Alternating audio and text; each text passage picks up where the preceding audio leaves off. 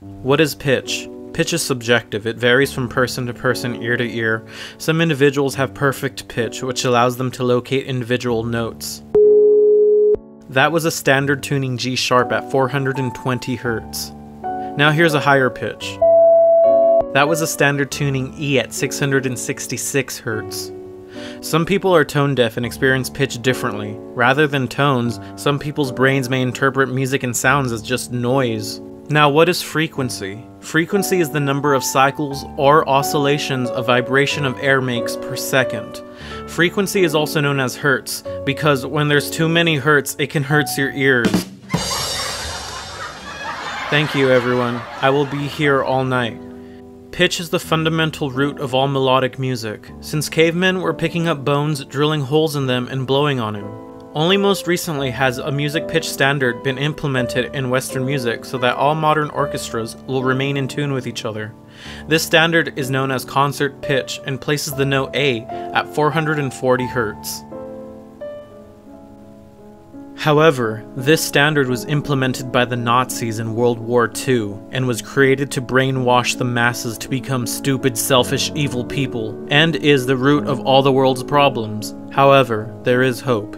If you tune concert pitch just 8 Hz lower with an A at 432 Hz, you get the divine magic universe life frequency, which heals the world and puts everyone's brains together and literally gives you superpowers because that frequency literally follows the Fibonacci sequence, the human heart rate, the brain when you're sleeping and dreaming about cool things, computer binary code, reflects the speed of light, vibrates the same as water molecules, pyramids. Also, when you throw a bunch of sound on a vibrating metal plate, it looks like at least four times cooler than that fake ass 440 hertz. You're probably wondering, hey, hey Frank, why hasn't anyone decided to be like, hey, fuck you, Hitler, I'm gonna tune my instruments down 1.818% to save the world?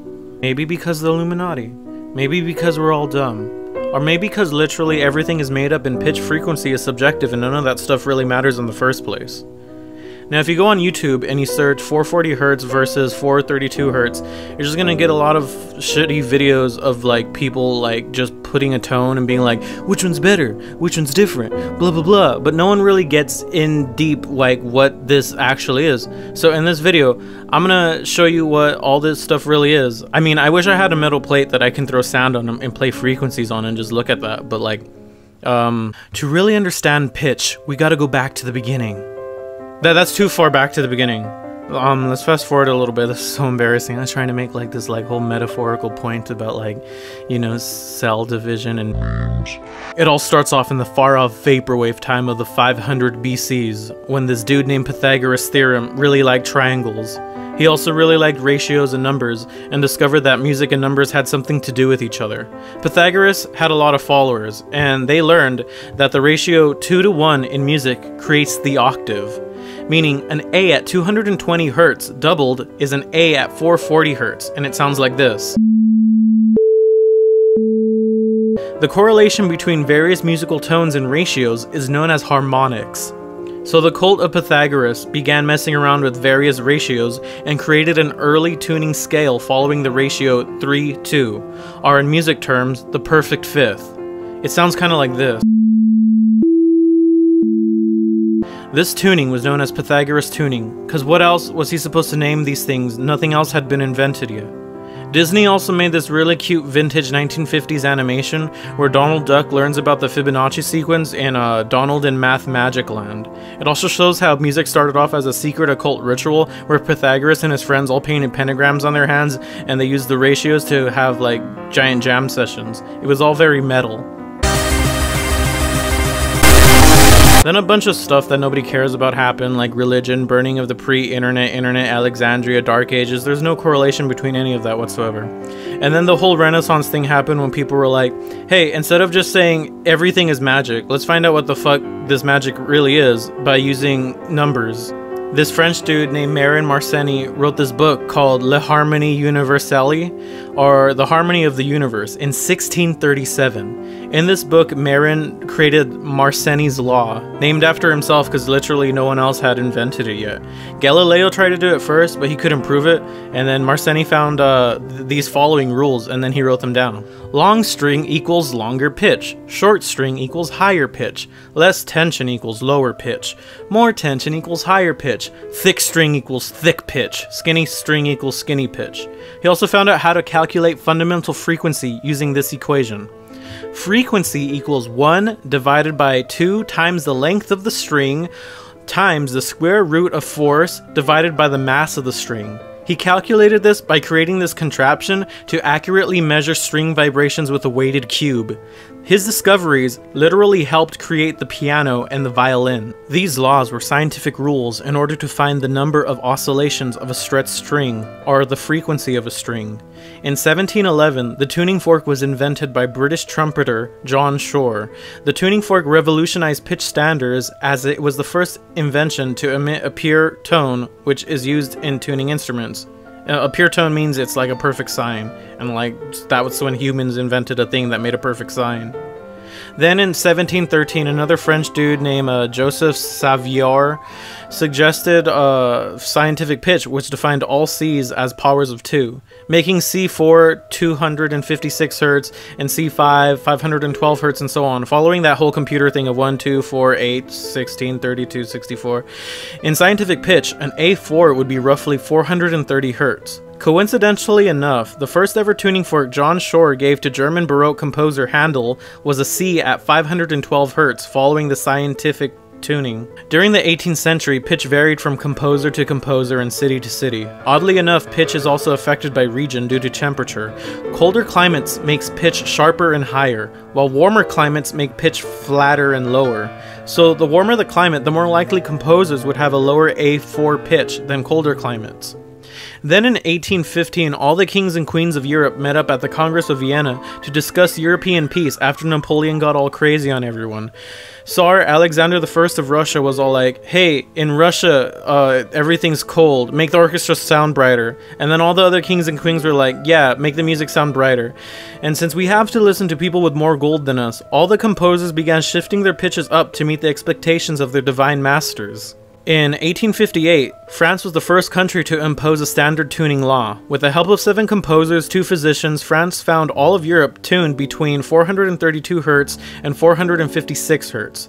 Then in 1859, France officially decreed A4 to be 435 Hz, as it was a standard for all their music cons conservatories and music schools. Then in 1884, an Italian composer with a fancy hat named Giuseppe Verdi was all like, hey, I'm gonna standardize A at 432 Hz in Italy. Verdi was famously quoted as saying, what we call an A in Rome is a B flat in Paris, because Italy is lower and hotter than France geographically. He chose 432 Hz as it was closer to scientific pitch, sometimes known as the philosopher philosophical pitch, um, and that would place C at 512 Hz. This later led to the first international meeting to discuss pitch in Vienna, again only this time in 1885, where all of Europe chose A at 435 Hz because that was a good medium. From this time to the beginning of World War II, most concert pitch was tuning A from 430 Hz to 456 Hz depending on climate and composer's mood. This is where things get kind of weird. In uh, 1925, the various American music instruments manufacturers began producing instruments with their tune being at 440 Hz. This later led to the American Standards Association to confirm that 440 Hz as the American standard in 1936. Then in 1937, the US federal government began broadcasting a 440 Hz hertz tone over the radio. And this is where things get Nazi-ish. According to the earliest source I could find in this 1988 newspaper, lead Nazi propaganda coordinator Dr. Joseph Goebbels Go, Go, began using the American tuning of 440 hertz on Radio Berlin. Then in 1938, he and the Acoustic Committee of Radio Berlin requested that the British Standard Association organize a congress in London in order to adopt internationally the German tuning of 440 Hz. They did this by asking as many European countries which they preferred. If the country preferred 432 Hz, they didn't invite them to the meeting. Then in June of 1939, they announced the new frequency of 440 Hz as the international standard. Then, literally two months later, World War II started and they all started killing each other. After the war was over, jazz took Europe by storm, and the US shipped a bunch of 440 Hz manufactured instruments to Europe. Because of the surplus of American instruments in 1953, London summoned another congregation of music experts who favored the 440 Hz tuning and formed the International Standardization Organization and made 440 Hz the official tuning of the world. In fact, according to the Casual Opera Goer's Guide, the National Bureau of Standards broadcasts a 440 Hz tone on the radio on five different radio bands all throughout the United States and the world. So you see, kids, it's not the Nazis who invented the demonic 440 frequency standard, it's actually the capitalist American instrument manufacturers in the 1920s. Now, I'm not saying there's a global conspiracy to brainwash the masses, or even more terrifying, literally everyone in the world doesn't know what the fuck they're doing and everything is random chaos, but pitch frequency is subjective and varies from person to person, so one tone is unique to each person who hears it. Personally, I tune all my acoustic instruments to 432 Hz because I like the flatness and it just feels better on my throat strings when I sing to it. The only problem I find is most DAWs are factory set to 440 Hz, so it can be kinda tricky detuning all your VSTs and drum samples to match 432 Hz, but don't worry, I'll show you how to do it since frequencies are all just math, it's just easy to lower the math to get a different math. In Audacity, all you gotta do is lower the pitch by negative 1.818% or negative 0.32 semitones and you turn your 440 Hz piece into a 432 Hz piece. Thank you so much for watching. If you want to support my channel, check out my music on Spotify and Bandcamp. Uh, if you're like, hey Frank, what about Eastern music? They have their own pitches and scales that they've been doing since the beginning of time. Well, I'll do that next time. So yeah, thanks for watching. Also check out my history playlist on my channel for more history.